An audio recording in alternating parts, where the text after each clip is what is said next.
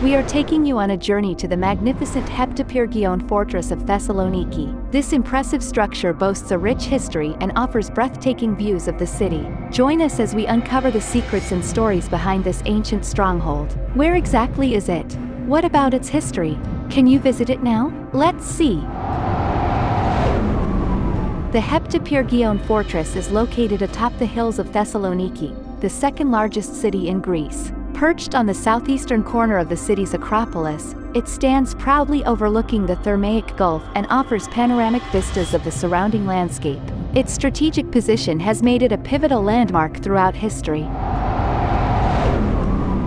The fortress has a storied past that dates back to the Byzantine era. It was initially constructed in the 4th century AD as part of the city's fortifications, designed to protect Thessaloniki from invasions. The original structure was relatively modest but underwent significant expansions and renovations over the centuries, particularly during the Byzantine, Ottoman, and Venetian periods.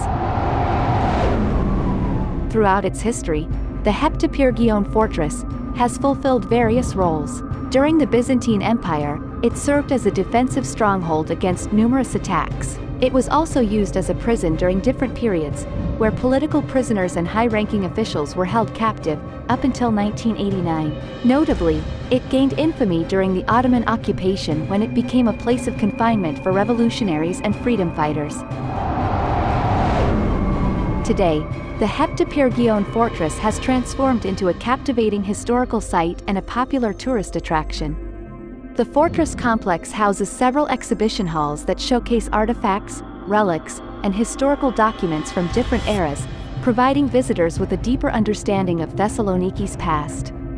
Additionally, the surrounding grounds have been transformed into a scenic park, offering a serene and picturesque environment for locals and tourists alike.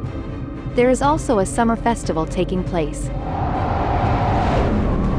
The fortress is easily accessible by foot or public transportation, with various paths leading up to its entrance. As you explore the complex, you'll encounter well-preserved walls, ancient towers, and hidden passageways that unveil the secrets of the past. Don't forget to bring your camera to capture the stunning vistas of Thessaloniki and the surrounding landscape. You can usually visit from 10 a.m. to 5 p.m., it's closed on Tuesdays. The opening hours and admission fees may change. Currently, the ticket costs 6 euros. It takes detailed planning and a long time to shoot, edit, and create this content.